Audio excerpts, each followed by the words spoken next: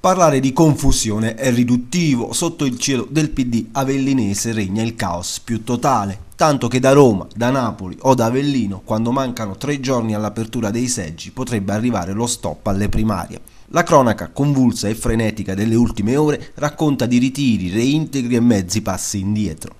Torna in campo Leonida Gabrieli, riammesso dal Tribunale di Avellino, l'avvocato potrà partecipare alle primarie perché i giudici hanno stabilito che la regola sull'incompatibilità decisa dalla coalizione non è applicabile.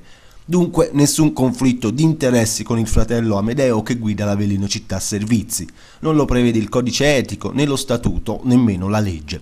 Soddisfatto, Gabrieli ora chiede la testa di Caterina Lengua e parla del PD come di un manicomio. Avvocato, il Tribunale le ha dato ragione, si riapre la partita, lei è di nuovo in campo per le primarie? Certo, mi aspetto che non ci sia un altro provvedimento di esclusione, ma non potrebbe essere, perché è un ordine cogente del giudice, chi lo viola, viola corre un serio rischio, insomma. Dovrebbe essere così, a meno che l'unico fatto non, sarebbe quello di non tenere le primarie, ma non credo che accadrà. Ci faremo queste primarie tranquillamente, tra buoni amici, chi avrà più consenso vincerà e rappresenterà il partito alle elezioni amministrative e se io dovessi perdere sarò ben felice di dare una mano a chi vince. Che cosa resta di questa vicenda? L'amarezza, l'amarezza di una soluzione che poteva essere diversa se fosse stata chiesta una mia, se fosse stato chiesto un mio ritiro in maniera diversa. L'amarezza perché alla fine poi, eh, le assicuro, partecipare a una competizione con un provvedimento di natura giurisdizionale non fa tanto piacere.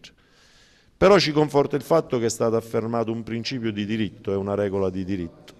E allora superiamo anche questo e andiamo tranquillamente avanti.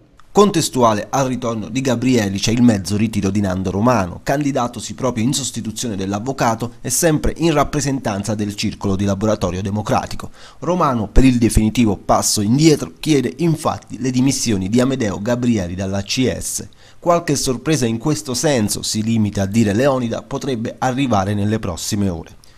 Chi invece ha dato un sicuro addio alla competizione è l'ex assessore Guido D'Avanzo, un contributo, dice, a rasserenare il clima e ad evitare la frammentazione. Nel frattempo si registra la convergenza dei renziani dell'onorevole Famiglietti su Paolo Foti, certificata da un video postato su YouTube in perfetto stile 5 Stelle.